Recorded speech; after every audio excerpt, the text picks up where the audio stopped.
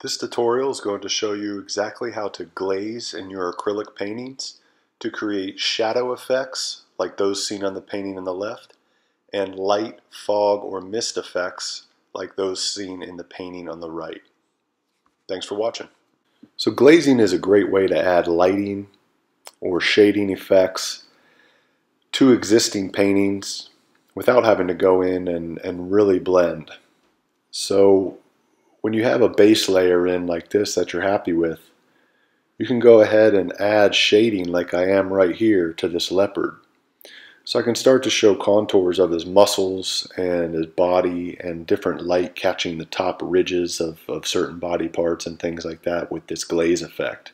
Very quickly, very simply, without disrupting the entirety of the painting or having to go in and try to rebuild blends. You know, it would be very hard to try to reblend this uh, with all those spots, everything would be disrupted. So this is a way to let know all the detail in the leopard stay put, stay clean and crisp and there and still visible, and we can just put a nice thin glaze on top of it without disrupting anything underneath. So that's kind of the beauty of glazing is it retains everything underneath but also adds a nice subtle touch like this. So you can see those different shadows and highlights bringing that 3D body to life and adding you know the different uh, textures to the body and, and the muscles on his shoulders and, and hind legs and, and top of his back.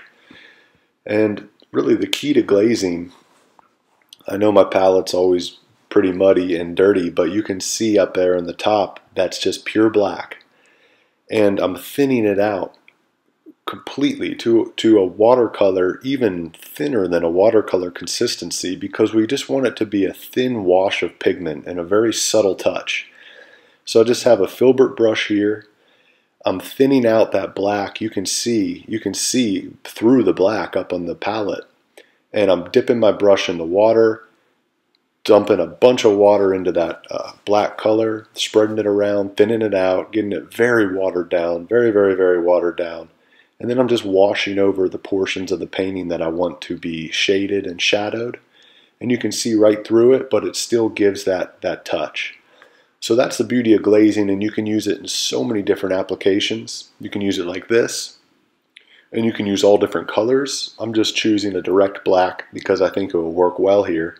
But you could use a darker orange here, or even a brown or an umber or something. And this same technique can be applied to larger areas, full paintings.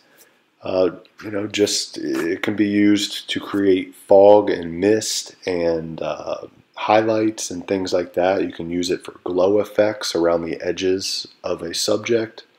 So it's really a versatile, great tool to have in your hip pocket. And uh, so I'm going to go ahead and, and let you just watch this in real time and, and see how to work in a glazing effect on some of your paintings. So hopefully this helps.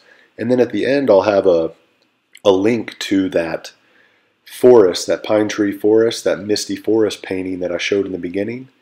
And if you want to click on that link, it'll show you how to use this same watered down glazing effect, but with a brighter white. And you can whitewash. You know, I whitewashed multiple glazing layers with pure white over that forest and it gave it a nice fog effect. So uh, yeah, again, hope this helps. Thanks for watching and I'll see you guys in the next video.